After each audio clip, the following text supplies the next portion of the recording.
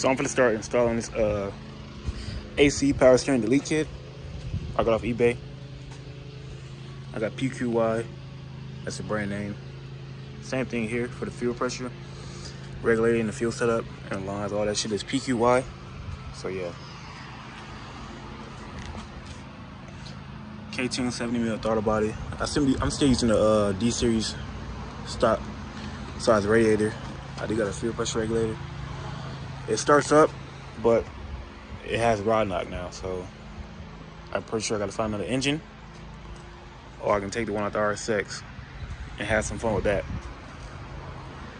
So yeah.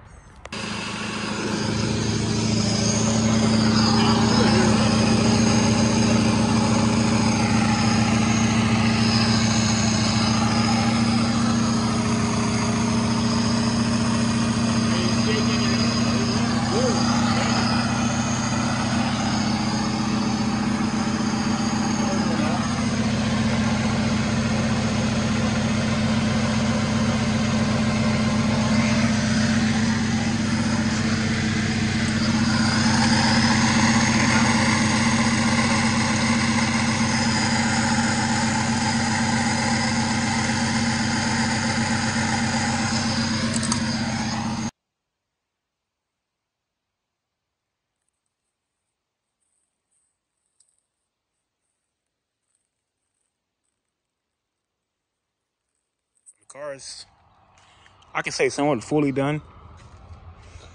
I read my, I finished my charge harness from going down here from the alternator to back up here, back to the fuse box. So now I got both wires going back to the fuse box or whatever with all the grounds. Ignore that plug. I already got the alternator plugged in. So yeah, pretty much it's done. I got all my bolts in my header. I got all five bolts.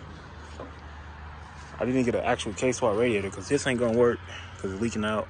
It would work, but it just, there's a hole in it anyways, leaks slow. But yeah. Base model RSX swap came out of a full RSX. It's running and driving. I think it's knocking though. I think it's got rod knock. I'm not sure. But yeah. Other than that, this car is somewhat almost done.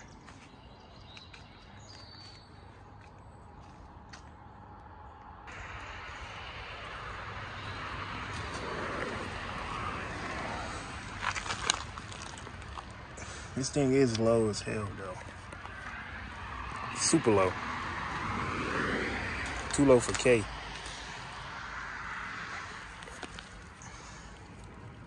You see my exhaust right there, points down. I get that uh come all the way back.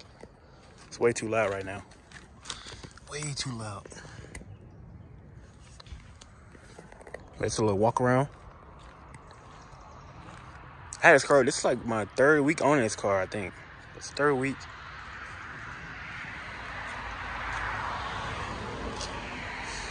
It's almost done. Sitting right next to the RSX. K series, man. K series. Ain't pretty much ain't too much done on the inside. Got the ricer wheel on there. Got the ricer cluster. I didn't do that. This is how the car came. So I need to add my own little bits and pieces. This shifter came out of my other car. I don't like this shifter. I want to go underneath. That's the K-Pro Hondata V4. I gotta tuck up the uh, conversion harness. It's running through there. So, and that's that. Cause I want to be able to use my uh, cup holders and and all that stuff. Then I got a big gaping hole down there, so. But yeah. Got a little base map. It's running pretty good. I could probably drive to work. But I shouldn't be driving it, but I don't know. But yeah, now my alternator, I'm getting power back to the fuse box so it's staying on after I unplug the battery. So that's a good thing. The fuck? So yeah. That's pretty much it. That's the walk around or update, whatever you want to call it. But I like this front lip setup. It's pretty cool. So I thought the same lip was on that car, but that's something else.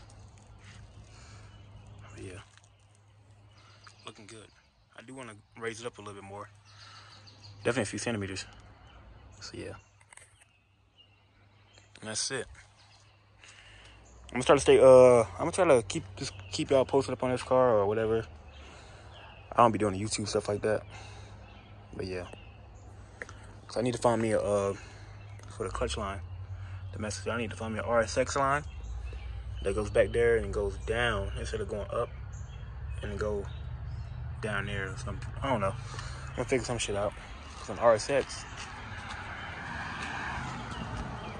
the clutch master is way back there.